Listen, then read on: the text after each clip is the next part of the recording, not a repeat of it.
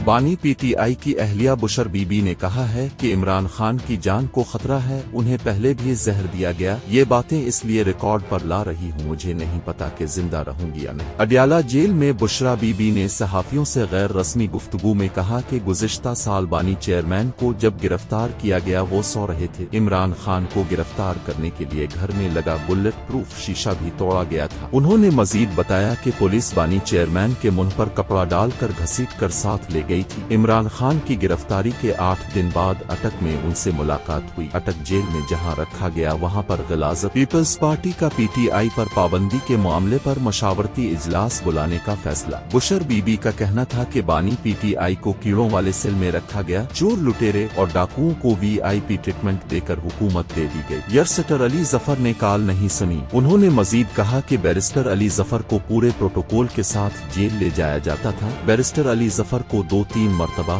काल की जो उन्होंने नहीं सुनी। बुशर बीबी ने कहा कि हल्फ लेने के लिए तैयार हूँ। हमारे खिलाफ तमाम मुकदमात छूट पर मबनी हैं। क्या हम पर मुकदमात बनाने वाले भी हल्फ लेंगे कि ये मुकदमात छूट पर मबनी नहीं? उन्होंने कहा कि मैं बुजदिल नहीं हूँ। मेरी गिरफ्तारी को डील तक कहा गया। अली अमीन गुंडापुर ने फैसल करीम कुंडी को हेक इज़्ज़त का नोटिस भेज दिया। उनका कहना था कि बानी चेयरमैन की जान को खतरा है। उन्हें पहले भी जहर दिया गया। जेल अफसरान भी बार बार तब्दील कर दिए जाते इमरान खान की अहलिया का कहना था कि इद्दत केस में बरियत पर शुक्राने के नवाफिल अदा किए। इस केस से बरियत के बाद मुझे पता चला, मैं रहा होने वाली हूँ। मुझे सुपरिटेंडेंट जेल के ऑफ़िस तक लाया गया। वहाँ मौजूद लोगों को देखकर अंदाज़ा हुआ कि मुझे रहा नहीं किया जाएगा। गिरफ्तारी से कबल मुझे खातून ऑफिसर ने धक्का मारा था। बुशर बीबी का कहना था कि मुझ पर जेल से बाहर जाने के लिए दबाव डाला गया। जब बाहर निकली तो नैब वालों ने कहा, आपको दोबारा गिरफ़्तार कर लिया उन्होंने कहा कि टॉयलेट क्लीनर खाने के बाद मेरी तबीयत दो माह तक नहीं संभली। मेरा मुँह जल गया था। दिन में सात, आठ बोतल पानी पीती थी। मेरी तिब्बी रिपोर्ट में बात आई है कि मेरे साथ कोई मसला हुआ था।